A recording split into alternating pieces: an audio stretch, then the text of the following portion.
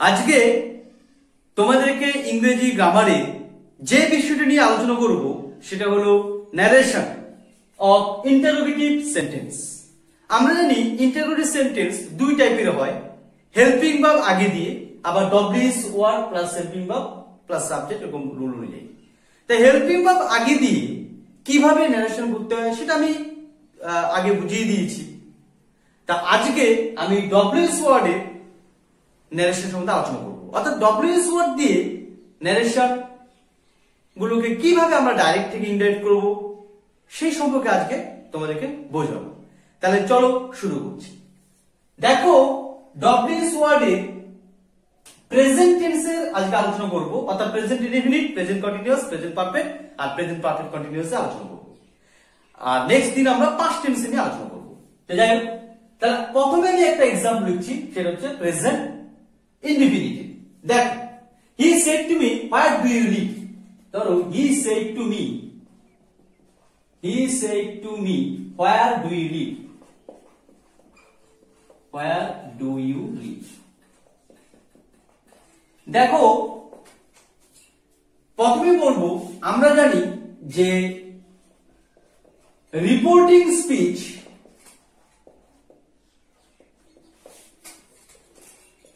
Reported speech অর্থাৎ reporting স্পিচের reporting ভাগটি যদি সেই থাকে, তাহলে এখানে টেন্স অনুযায়ী চেঞ্জ হবে।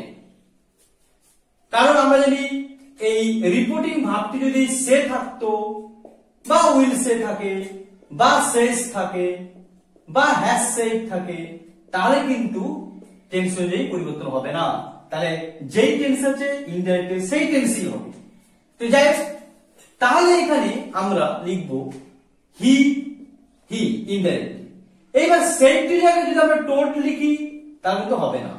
কারণ অ্যাসার্টিভ ফর্মে টোল্ড হয়। তো যাই তাহলে হি আস্কড হবে কারণ যেহেতু এটা ইন্টারভিউ সেন্টেন্স মি এইবার দেখো, আমরা এখানে ড্যাট লিখি, কিন্তু এখানে ড্যাট লিখলে হবে না। আবার দেখো আমরা ইনভার্টেড কমা তুলে দিয়ে কমা জায়গায় আমরা কি লিখি? ইফ লিখি। কিন্তু এখানে ইফ লিখলে হবে না। ইন্টারভিউ সেন্টেন্স আমরা ইফ লিখেছিলাম, সেটা কোন ক্ষেত্রে? হেল্পিং ভাব আগে দিই। কিন্তু এখানে রুলটা দেখো ডব্লিউএস ওয়ার্ড আগে হবে, পরে হেল্পিং ভাব পরে সাবজেক্ট পরে মেইন ভাব তাহলে ডব্লিউএস ওয়ার্ড দিয়ে শুরু হচ্ছে যেগুলো, সেই সমস্ত সেন্টেন্সে আমরা ইন্ডিয়াতে কি লিখব? ডব্লিউএস ওয়ার্ড যেটা থাকবে, সেটাই লিখব। হোয়ার আছে? তাহলে আমরা লিখে দিলাম হোয়ার এবার এখানে যদি হু থাকতো, তাহলে হু লিখতাম? হোয়েন থাকলে হোয়েন হাউ থাকলে হাউ হোয়াই থাকলে হোয়াই এরকম। তাহলে হোয়ার আছে, আমরা হোয়ারই লিখব। তাহলে হি আস্কড মি হোয়ার এবার আমরা জানি হোয়ার এর পরে আমাদের সাবজেক্ট দিয়ে দিতে হবে। এখানে দেখো ডব্লিউএস এর পরে হেল্পিং ভার্ব ওয়ার্ড এর পরে এখানে হেল্পিং ভার্ব দিয়েছে। কিন্তু ইনডাইরেক্টে ডব্লিউএস ওয়ার্ড এর পরে সাবজেক্ট দিতে হবে। কারণ আমরা জানি যে ইনডাইরেক্টে অ্যাসার্টিভ ফর্ম থাকবে মানে ইন্টারভিউটিভ ফর্ম থাকে না। তার জন্য এই ডব্লিউএস সাবজেক্ট হবে। এবার দেখো সাবজেক্ট ইউ আছে। তাহলে এখানে যদি ইউ থাকে মানে সেকেন্ড পারসন থাকে, তাহলে রিপোর্টিং স্পিচ আমরা অবজেক্টের দিকে তাকাবো কি আছে? এই সাবজেক্ট দেখব না। এই সাবজেক্টের দিকে আমরা তাকাবো না। তাহলে এখানে ইউ আছে সেকেন্ড পারসন আছে, তাহলে আমরা অবজেক্ট কি আছে? মি, আমাকে। মানে কি আমি? তাহলে ওয়ার আই এবার দেখো কোন টেন্স আছে সেই টেন্স অনুযায়ী চেঞ্জ হবে, এবার এখানে এই সেন্টেন্সটা আমরা বলতে পারছি এটা প্রেজেন্ট এই টেন্সটা প্রেজেন্ট ইনডিফিনিট টেন্স কেন? দেখো ডু আছে। কারণ ডিড থাকলে পাস্ট ইনডিফিনিট হয়। তার ডু আছে, তার প্রেজেন্ট ইনডিফিনিট আর প্রেজেন্ট ইনডিফিনিট থাকলে ইনডাইরেক্টে হয়ে যাবে পাস্ট ইনডিফিনিট কারণ আমরা জানি যে ডাইরেক্টে প্রেজেন্ট ইনডিফিনিট যদি থাকে, তাহলে ইনডাইরেক্টে পাস্ট ইনডিফিনিট হবে। তাহলে পাস্ট ইনডিফিনিট লিখব আই এবার পাস্ট ইনডিফিনিট লিখতে গেলে সাবজেক্টের পরে আমরা কি জানি মেইন ভার্ব হয়। তাহলে মেইন ভার্ব কি আছে? লিভ লিভ মানে হচ্ছে বাস করা তাহলে লিফট হয়ে যাবে সেকেন্ড ফর্ম লিফট তাহলে হোয়ার আই লিফট পরে আমাদের পুষ্ট হয়ে যাবে। এই কোশ্চেন চিহ্ন থাকবে না, কারণ আমরা জানি অ্যান্সারটি ফর্ম হয় তাহলে he asked me where I left কারণ সাবজেক্ট বলে মেইন ভার্ব সেকেন্ড ফর্ম দিয়ে দিয়েছি। তাহলে আমাদের পাঁচটা ডিগ্রি হয়ে গেছে। হোয়ার আই লিফট তাহলে আমাদের হয়ে গেল ডব্লিউএস ওয়ার্ডের সেই প্রেজেন্ট ইনডিফিনিট এইবার দেখো, তাহলে দুই নম্বর এক্সাম যেটা লিখব, সেটা হলো প্রেজেন্ট কন্টিনিউয়াসলি লিখব। কি? ধরো I said to Rita what you doing now I said to Rita what you doing now what are you doing now দেখো, আমি রিতাকে বলেছিলাম যে তুমি এখন কি করছ? তাহলে এখানে reporting reporting speech reported speech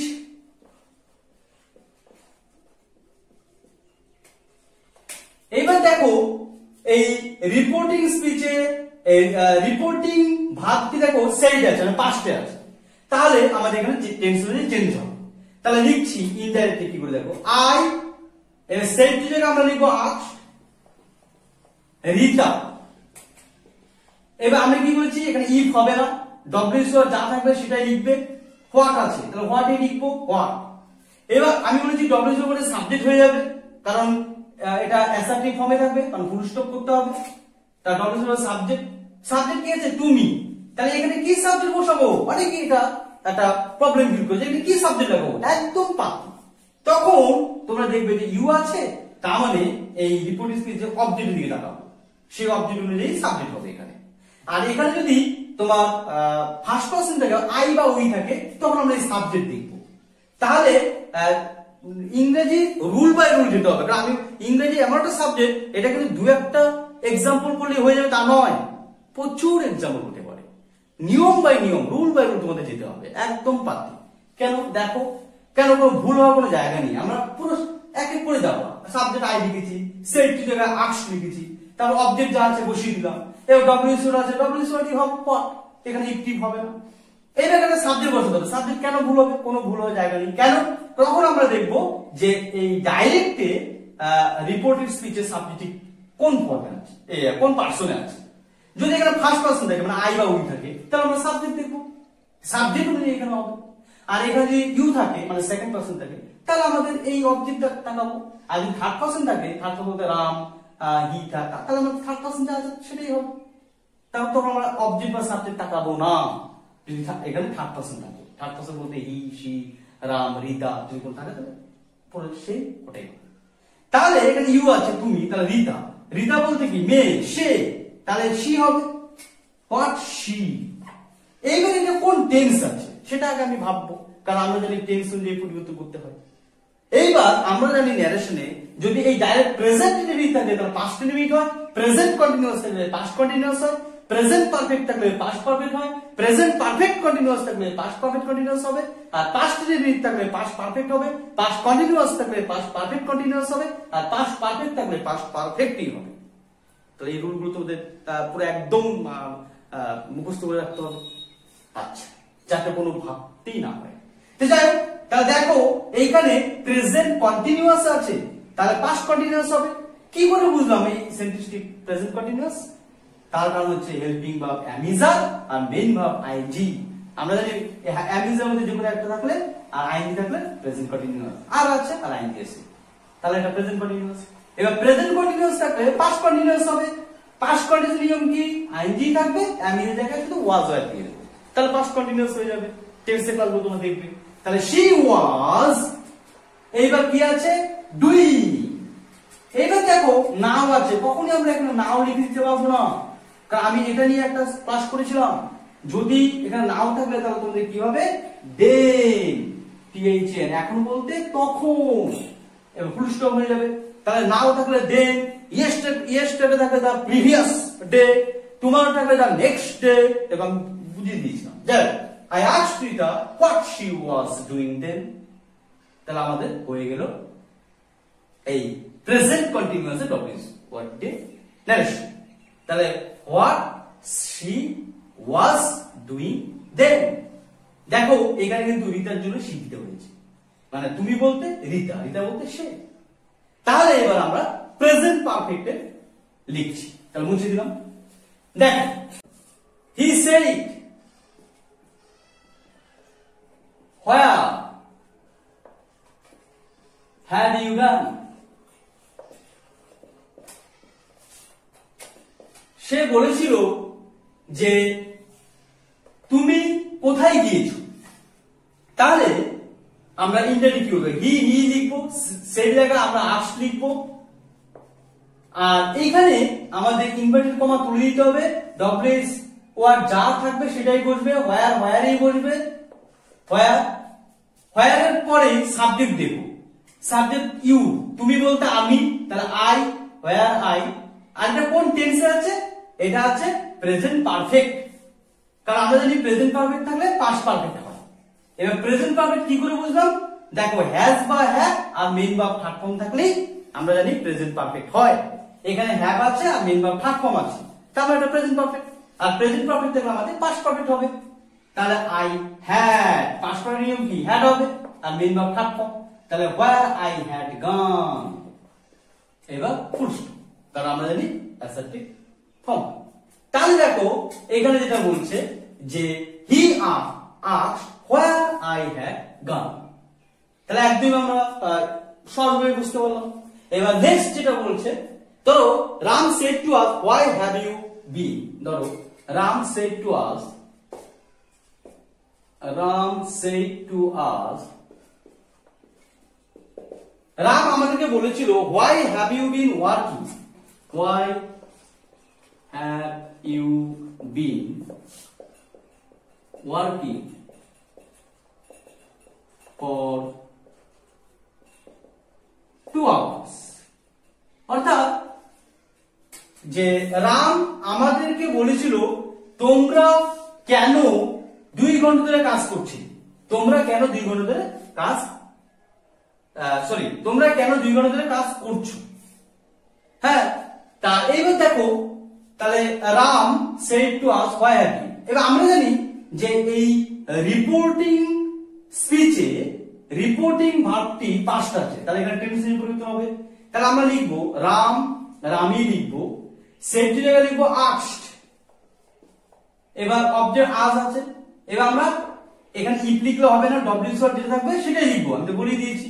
তাহলে ডব্লিউ ওয়ার্ড হোয়াই আছে হোয়াই তাহলে রাম আস্ট আজ হোয়াই এবার দেখো হোয়াই পরে আমরা একটা সাবজেক্ট লিখে দেবো। এবার এখানে দেখো মন দিয়ে বুঝবে। এইখানে ইউ ইংরেজি তুমি বা তোমরা হতে পারে। আর এখানে ইউ। আমরা জানি তুমি ইংরেজিও ইউ, তোমরা ইংরেজি, ইউ। এবার আমাদেরকে বুঝে নিতে হবে। এখানে বলছে আমাদেরকে। ধর কথা রাম সেই টু মি যদি থাকতো মানে আমাকে। তাহলে এটা তুমি। কিন্তু আমাদেরকে বলছে মানে তোমরা। তাহলে এইখানে সাবজেক্ট ইউ থাকলে আমরা দেখব অবজেক্ট থাকব যে আমাদেরকে বলল রাম যে তোম- তোমরা কেন দু ঘণ্টা ধরে কাজ করছ? তাহলে হোয়াই তোমরা বলতে কি? আমরা কারণ আজ আছে? তাহলে হোয়াই উই এইবার আমাদের দেখতে হবে কোন টেন্স হবে। এটা প্রেজেন্ট পারফেক্ট কন্টিনিউয়াস আমরা জানি প্রেজেন্ট পারফেক্ট কন্টিনিউয়াস থাকলে ইনডাইরেক্ট হবে পাস্ট পারফেক্ট কন্টিনিউয়াস কি করে বুঝলাম প্রেজেন্ট পারফেক্ট কন্টিনিউয়াস আমরা প্রেজেন্ট পারফেক্ট কন্টিনিউয়াস এর রুল জানি। যে হ্যাজ বা হ্যাভ আর বিন হয় আর মেন ভার্বের সাথে আইএনজি হয়। তাহলে আমরা প্রেজেন্ট পারফেক্ট কন্টিনিউয়াস এবার পাস্ট পারফেক্ট কন্টিনিউয়াস নিয়ম কি? পাস্ট পারফেক্ট কন্টিনিউয়াস নিয়ম হচ্ছে হেল্পিং বা হ্যাড বিন হবে। তাহলে we had been had been এইবার দেখো যা আছে তা লিখে দেবো। কি?